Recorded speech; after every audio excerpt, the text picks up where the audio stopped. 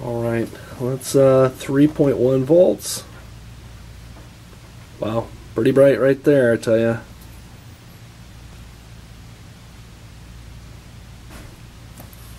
There you have it.